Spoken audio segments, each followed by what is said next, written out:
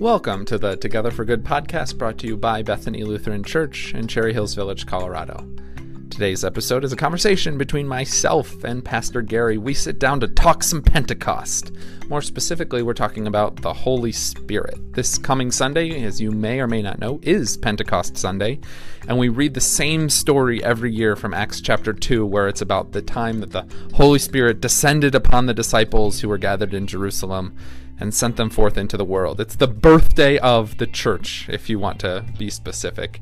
And so, Pastor Gary and I, we spend our time talking about the Holy Spirit. What what is this third work? What are the theological implications and the implications for our daily life and walk of faith? Uh, it was a cool conversation. It was a lot of fun, and I hope that it's helpful and brings you just some new perspective on this strange person of the Trinity that we often forget to talk about. If I'm being honest.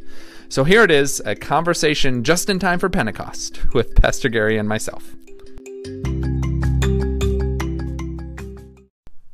Hello, everyone. Welcome. We're here sitting down. It's me and Pastor Gary. And Pentecost Sunday is coming up this Sunday. And we thought it would be a good idea to sit down and talk about the Holy Spirit. Because uh, the story we're going to hear on Sunday is about the time that the Holy Spirit a- appeared for the first time. And we'll hear another reading where Jesus predicts that the Holy Spirit's going to be coming after him. And it's kind of the forgotten person of the Trinity, at least within the Lutheran Church, wouldn't you say? I think that's probably true because there are times when we almost want to downplay the spirit because we think that is, interestingly enough, called Pentecostal. Yes, that's true. Yeah, it's funny how those words link together, isn't it? Yeah, certainly there are other uh, Christian denominations that really get into the Holy Spirit. The Lutheran Church is probably not one of them. Right. And partly because we sometimes, as Lutherans, look at churches and go, they're only interested in the Spirit. And they Yeah. almost make Jesus become the Spirit rather than the Spirit come from Jesus, if that makes sense. Oh yeah, that's a really good way of putting it. But but that being said, too, that's why we want to at least like kind of illumine more about all of this Sure. too, because there's some really good stuff as it relates to the Holy Spirit that even the Lutheran Church still uh, puts its stake in the ground with. Absolutely, it, we don't mean for it to be the forgotten person in the Trinity.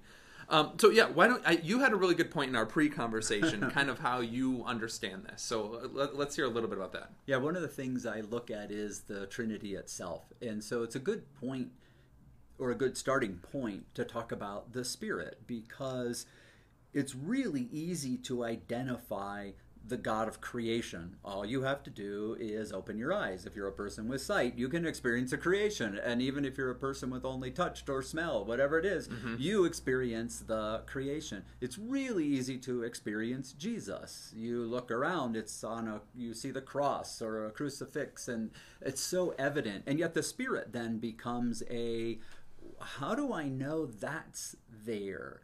And what I think about the Spirit as a person of the Trinity is to realize that uh, when I'm next to a stream that is kind of flowing, especially if there seems like it's kind of lively, uh, uh, you know, the babbling brook, or if I'm on a mountaintop or in a hospital room when my kids were born, to me, the power of those moments, I would say, were very spiritual.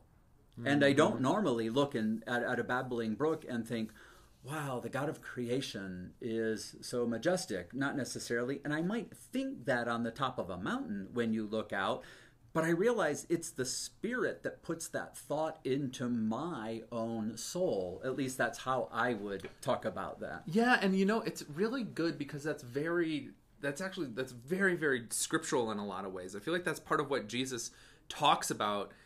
You know, we'll hear the reading on Sunday, but that there's going to be this presence of God after Jesus. Right. And that's very much like how we could understand the Holy Spirit is it's the it's the continuation of God's presence. Jesus was a living breathing human being who we have real stories uh, written down about him and what he did. And now the Holy Spirit is kind of that continued sense of Jesus' presence with us, that continued sense of God's presence in these holy spiritual moments. Sure. And and which is really fascinating because when you use that word spiritual, one of the phrases I always think of is how there's many people these days who say, "Yes, I'm spiritual but not religious." And I get what they're saying with that phrase. And yet for me, it's a lot of our religious rituals and liturgy and holidays and traditions that are deeply spiritual to me because they're connected with this long, you know, story of faith and this right. huge community of faith that's been enlivened by the Spirit for thousands of years, and now I'm getting to be a part of it. And right, just explaining and describing all that, there's something more going on, and that's what I would call some deeply spiritual moments even though they're also yes religious. So you you can do both. You really can. right. And, and the fact is, I think what a lot of people mean is when they're not religious, it means they don't attend a religiously organized church totally. worship service. Totally. kind of what they mean uh, with that because to say you're spiritual means you turn yourself over to something. Yeah. And I agree. It's okay to have a spiritual thought, but I'd much rather have a spiritual experience. And if you say I don't go to church because I don't have a spiritual experience there, then you just need to find another church.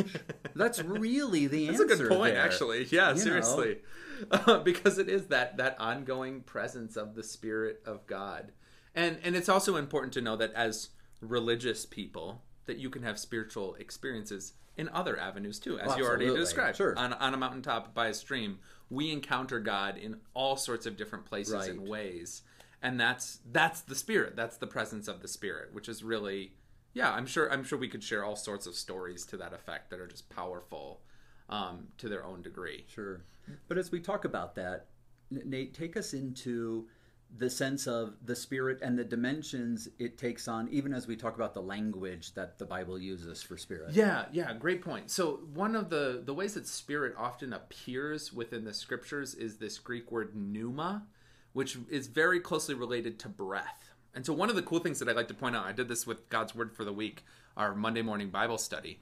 We read uh, Genesis chapter 1, verses 1, 2, and 3.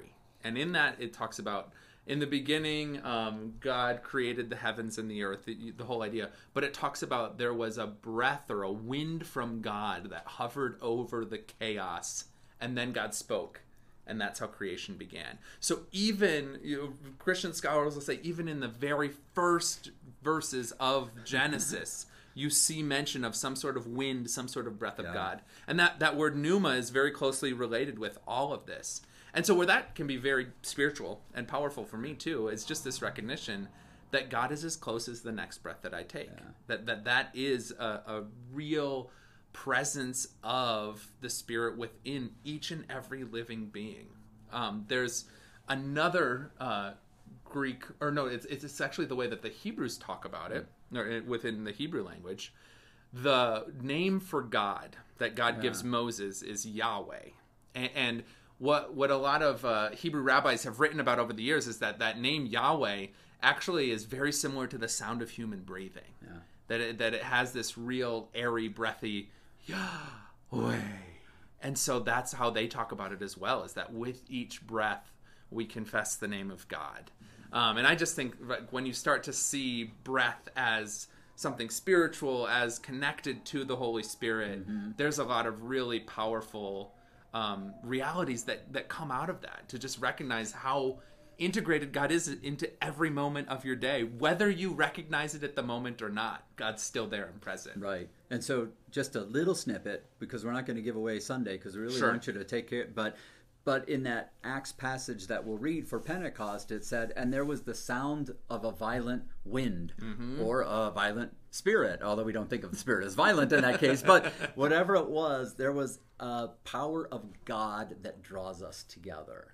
Yes and it not only draws us together but it also pushes us out, right? Wind oh, has yeah, the cap- right. capability to do both of that. Yeah. And you see, again, we don't want to get ahead for Sunday, uh, but you see both of that in the Acts passage and just in the way that the church has operated over the years. The church is all about coming together so that we can be sent out. Yep. And that is also how how wind often works. It can pull you together or it can push you to the corners of the earth. And that's yes. exactly how the Holy Spirit is working and operating within us, within the church. Yeah, that's for sure. Then we also can look at the way we try to identify the Spirit. And there are some people for whom the Trinitarian language becomes very gender specific. And so there are really appropriate places where we'll talk about the God of the Trinity as being creator, redeemer, and sustainer. Mm-hmm. And sometimes when I think about that, I go, all right, so what exactly is being sustained then by what we might say by the Spirit? Is is it I'm being sustained?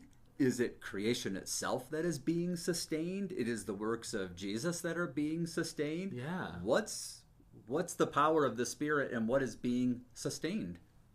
Yeah, that's a great question to think about too. Because in the same sense as well, I often view the Holy Spirit not just as the one that sustains us, but that changes things and, and Oh, mixes us up too. Again, going back to the the Pentecost story, it seems like the disciples were pretty sedentary until the Holy Spirit showed up and kind of shook the snow globe, so to Yeah. speak. But so tell me about. I mean, how do you how do you how have you come to terms with that in terms of understanding sustaining? You know, it's very interesting because when I use that in a blessing, instead of saying Father, Son, and Holy Spirit, if I would use Creator, Redeemer, Sustainer, I think it feels very personal. Like I feel I'm, I'm giving a personal message to you Yeah. that the Holy Spirit will be there to sustain you, and maybe what I would say is empower you.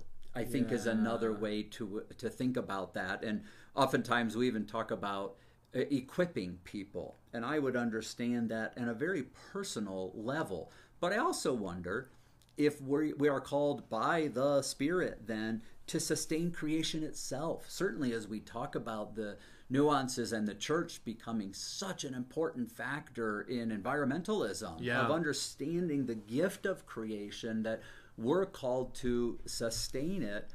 But I also think the other point then is we're called to sustain the church as the body of Christ. That's a part of what our great call is to be the people who realize the church has a future because God isn't going anywhere. And if we believe that we are sustained, it should take away a little bit of the consternation we have about the church sometimes. Yeah, I I mean, we were talking before we started recording about the Denver Post put out an article two weeks ago, I think it was, just saying like the church is dying, Yeah. um, which which which it might have been the first time the Denver Post wrote about that, but I swear I've read an article Oh. like that for generations, Yes. in all sorts of publications. Yep. Um, I think they just need a way to talk about the church, but I mean, I'm not worried about it. That that was, Yeah. that's always my reaction. I think it's to your point because I believe in the Holy Spirit as a sustainer. Is Right. that the, the the power of God is so much more than analytics or, or whatever metrics they might be using to come to their conclusions. Right. And case in point, look at the last two thousand years. There's been a lot of tricky situations for the Christian church over those two thousand years. Sure. Yet here we are. Right. Look at I mean, even here at Bethany, look at the last 16 months. It hasn't been the simplest, most straightforward, but we have been sustained by the faithfulness of members who were enlivened by the Holy Spirit. I mean, Exactly. God has been looking out for us in so many different ways, um, and will continue to do so. We, Mm-hmm. we can just. I- I think you were saying something effective, like you you have you can just have faith in this, or, or, or not. right. You can either believe God's promises or not. And if the church is the bride of Christ, I don't think God's looking for divorce anytime soon, you know? And that's not to say that I mean I know you and I we would never just be like, well, yeah, God will just take care of it. No, we're Oh, still going to be right, right. informed and strategic and forward thinking and Yep. creative in all of those pieces. But we ultimately trust that yeah, when things look dire or difficult, God will provide a way. God will find a way. Yeah, very different than saying a congregation will close and the church will die. Those are two very, very different phrases. Congregations go through all kinds of nuances and transformations in their time. A lot of those transformations, when they're led by the Spirit, usually Yeah. become really, really positive transfer- transformations. And yeah, that's a really great point too. I I always like to bring up the fact that every single church the Apostle Paul started is now closed. However, the church as a whole is flourishing because of the original work that, that Paul did and Sure. others as well. It's always just a reminder that we are part of a much, much bigger story uh, than just our individual congregation. Yeah. That, that the Spirit has been telling a much, much bigger story across generations and geographies for thousands of years. And that'll continue. and it will. So that's where I think that idea of the Holy Spirit as sustainer brings me the confidence to continue doing what I'm doing. Yeah. You know, if I were um, if I were trying to open a an assembly line or, or a, a manufacturing plant today, I probably wouldn't start by saying, I wonder if the rotary phone will come back. You know, and start making those just just to see if all of that could come together. And sometimes I think that's what people want of the church. They want us to get back to the days of the rotary phone. Well, that's not going to happen. So part of it is to look to God's future for the church and the way that, Yeah. that will happen. I believe people talk about it, and it sounds trite because we can sometimes feel like we say it all the time, but it's not really. It's actually very, very powerful, is to say when those those avenues, when that future is spirit led or spirit driven, there's tremendous power and hopefulness in that. Yeah, I. It's funny that your example used.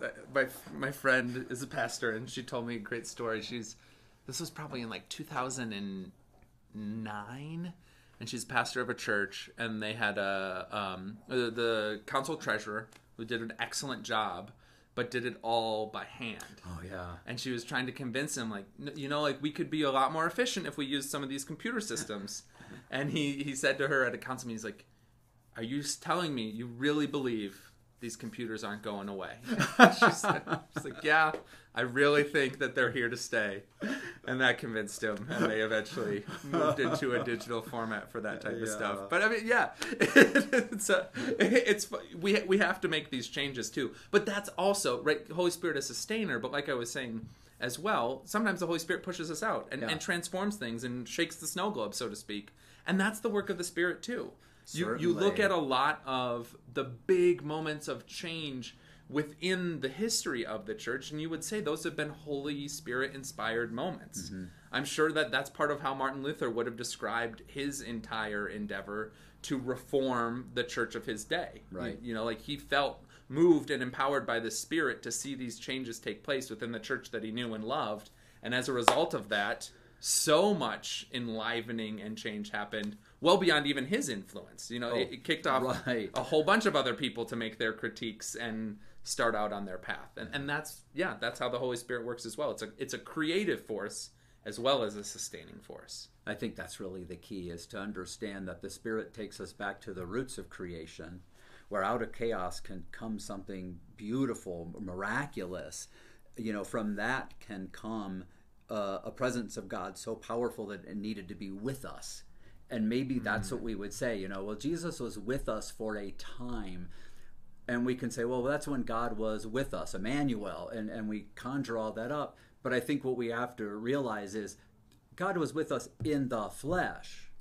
But now we talk about the spirit. We don't talk about God not being with us any less powerfully. And in fact, if you think about unleashing the power of the spirit, it can travel a lot farther than uh, a God confined in a human body can.